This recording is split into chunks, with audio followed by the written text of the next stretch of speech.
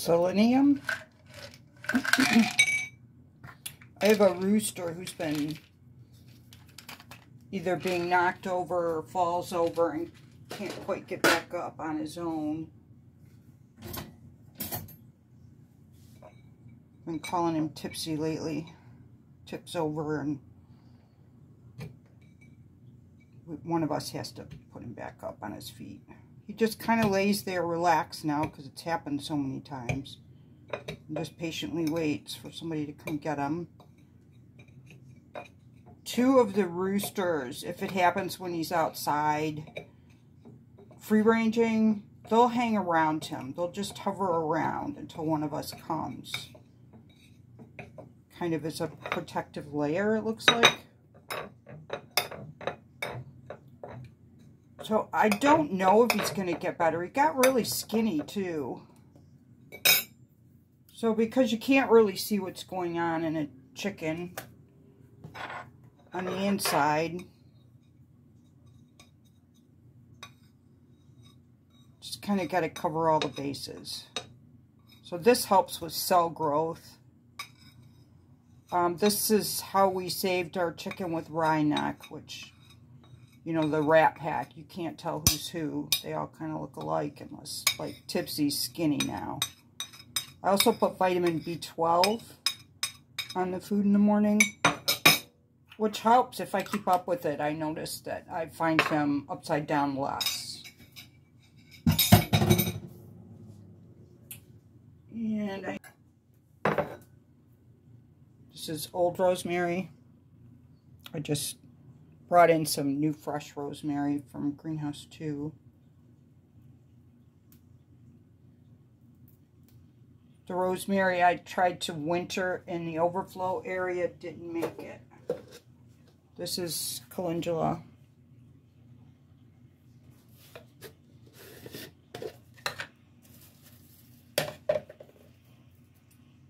This helps with uh, IBS and hair growth and feather growth. Lots of other things. I still have a duck who has bad butt, which is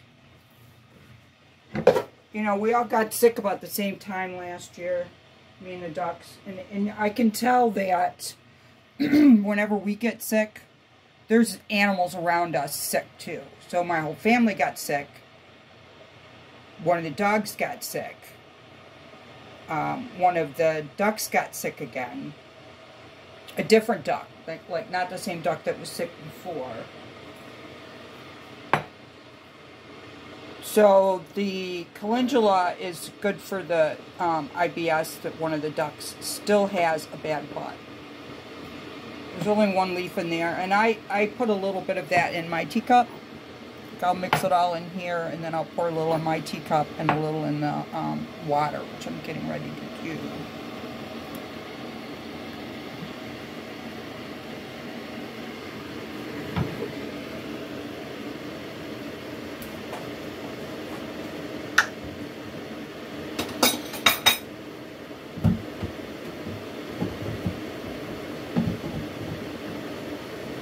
Another benefit to doing the water in the house is I can keep the jugs cleaner. I cleaned that jug last night when I brought it in. And I had a couple other things that I brought out of the duck house that I cleaned.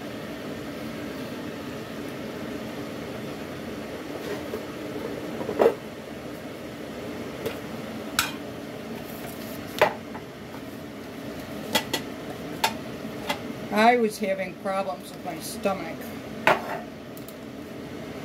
last week. This is probiotic green tea. So my IBS is completely healed, right? But I was having problems with my stomach feeling kind of bloated and gassy, which means I have to go back on the IBS diet before it turns into um, full-blown IBS, which took about six months for that to heal up. But the point is it healed up, right? So that's that is autoimmune. So anytime I feel like my body's exhausted or my stomach's bloating,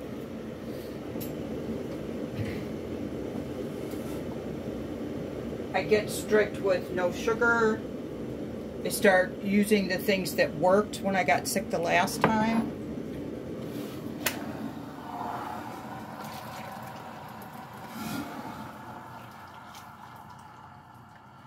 And then my thought process is I won't get that sick again because months and months of research has um,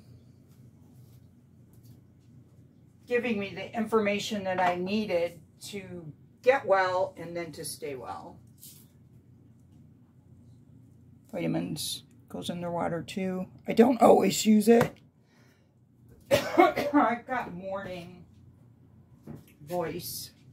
Not been up very long. Apple cider vinegar is also good for, if this is raw, this is the better stuff. This always goes in the water. Put too much water in here.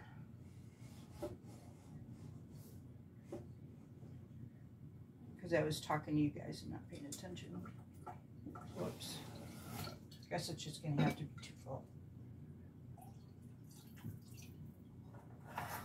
And where's my water glass?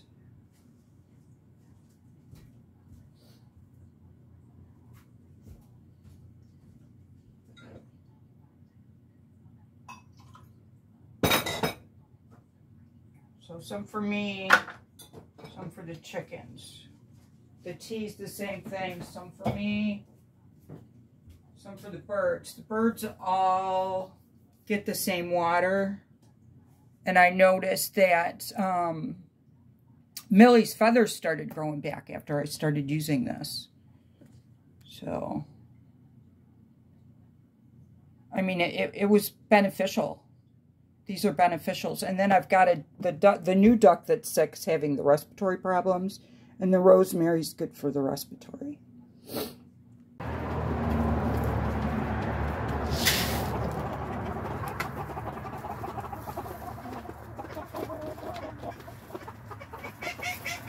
Vitamin B12. I keep the food bucket in the coop at night so the raccoons don't come in here. They can get in the barnyard, they just can't get in the coop. So I have to let the chickens out, which is not ideal, to get to the food.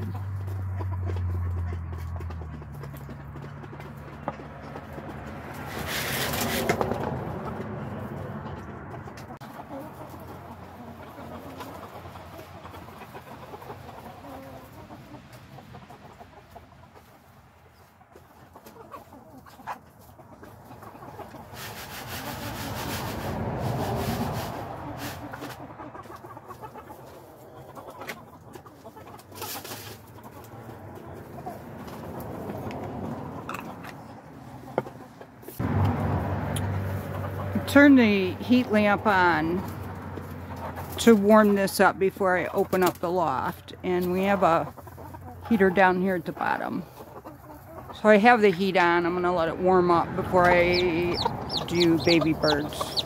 The baby birds are in their first week of life. And they're doing really, really well. And it is above freezing today. But if I wait when I open the doors, it won't be such a chill going in there to check on their food and water and progress. Do whatever I need to do.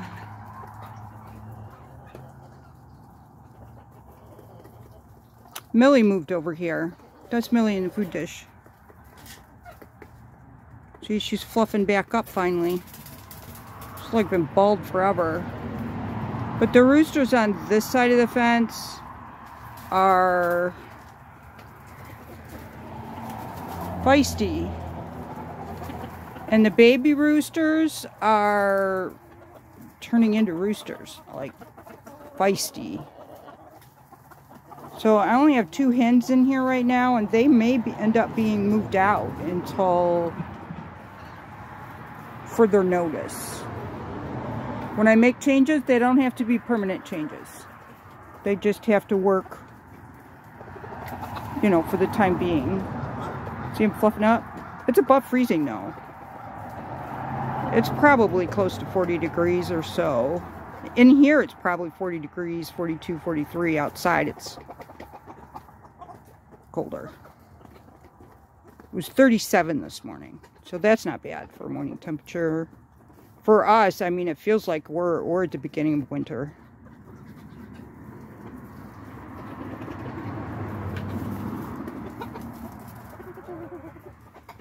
You know, I don't know. Chickens, they just never get old. I just had no idea how much I was going to like having chickens. These are the babies, baby roosters. So the hen that was in the cat crate has a bunch of babies now. Four. She had four yesterday that I could count.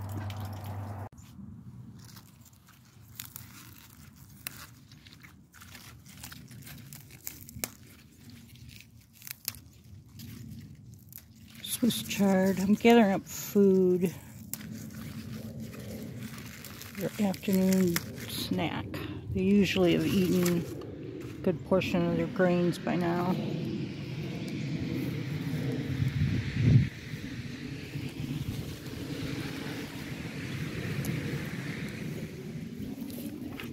Some catmint.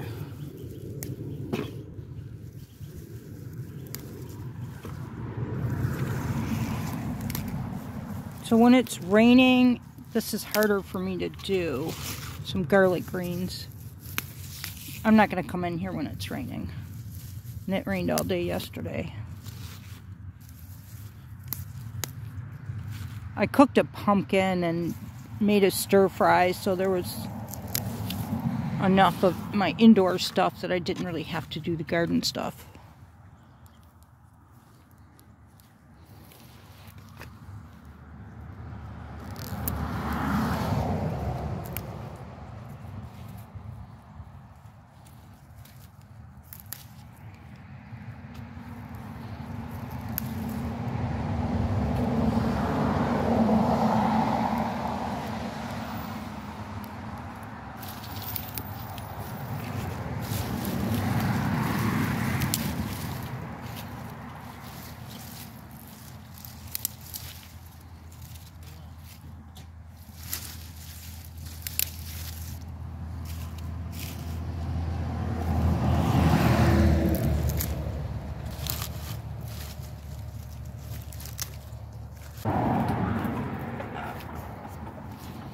Decided to give them veggies instead of green.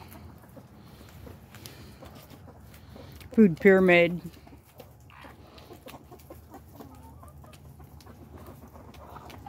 Yeah, there's still stuff in the garden.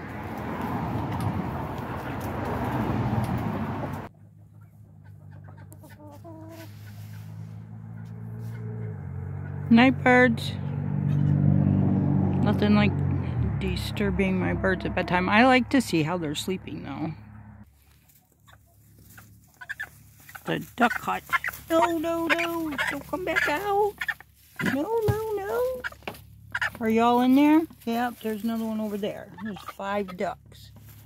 Oh, good stretch. Night-night, duckies. Night-night. I've been coming out here late, so I haven't had to shoo anybody in. I come in and everybody's in bed.